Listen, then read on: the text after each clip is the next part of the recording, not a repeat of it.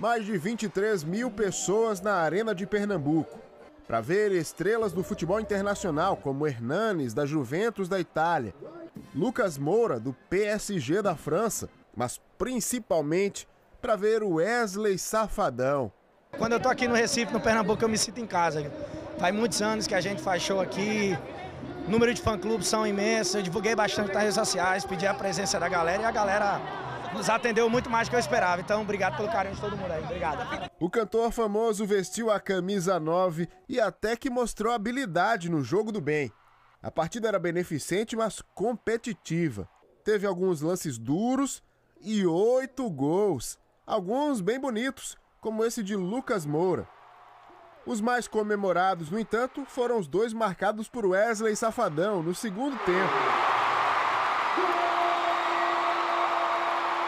O ídolo da música deu volta olímpica e vários fãs acabaram invadindo o gramado. A partida teve que ser paralisada, mas depois continuou. O jogo do bem terminou empate.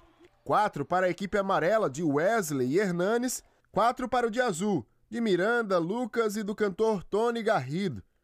E com a renda de 183 mil reais destinada a entidades beneficentes, dá para dizer que a grande vencedora da noite foi a solidariedade.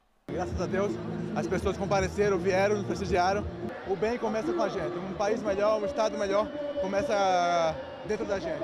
Vamos espalhar esse semente do bem.